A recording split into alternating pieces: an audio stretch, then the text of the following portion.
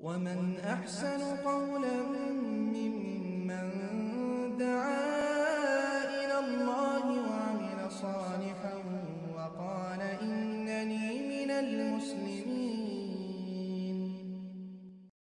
আসসালামু আলাইকুম ওয়ালাইকুম আসসালাম রহমতুল্লাহ বরকাত সম্মানিত শেখ আমি শাবাব বাংলাদেশ থেকে বলছি কোনো ব্যক্তির একটি মাত্র মেয়ে রয়েছে তার স্ত্রী জীবিত রয়েছে। তার ভাই বোন জীবিত রয়েছে। প্রশ্ন হচ্ছে, সে জীবিত অবস্থায় কীভাবে তার সম্পত্তি ভাগ করে দিবে? কাকে কত অংশ দিবে? সে জীবিত অবস্থায় কোনো সম্পত্তি বাক করবে না। জীবিত জীবিত অবস্থায় সম্পত্তি বাক করে দেওয়া হারাম। কারণ সে মালিক। এখন স্ব ইচ্ছে আরেকজনকে মিলকিয়ে না দিয়ে দেওয়া। এটা শরীয়তে অনুমোদন করে না। এ মারা যাওয়ার পরে, তারপরে শরীয়ত মতে যে যতটুক এইটা পাইবে। এখানে যেটা আল্লাহ রব্বুল আলমিন ফরিদতন ফরিদতন মিনাল্লাহ শব্দ উচ্চারণ করেছে। ফরজ এইটা। ওলিদ জাকারে মিসলা হাজিল উনসাইন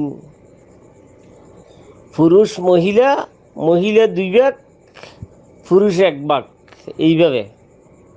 মানে এক পুরুষ, দুই মহিলা, এইভাবে বাক হবে।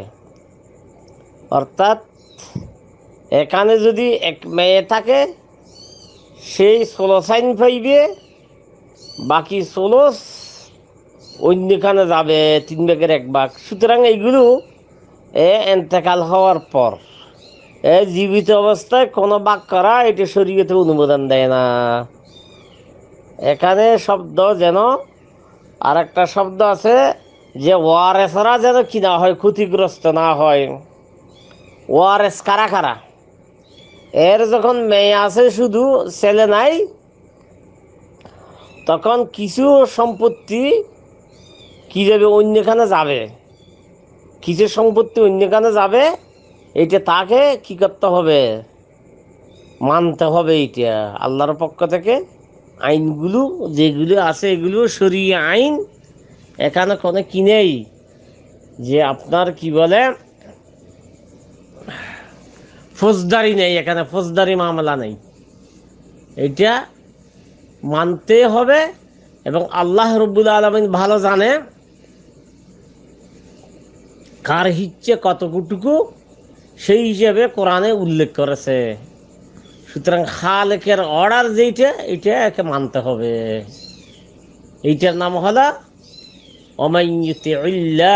রাসূলহু ফাকাদ ফাযা ফাওজান আযীমা।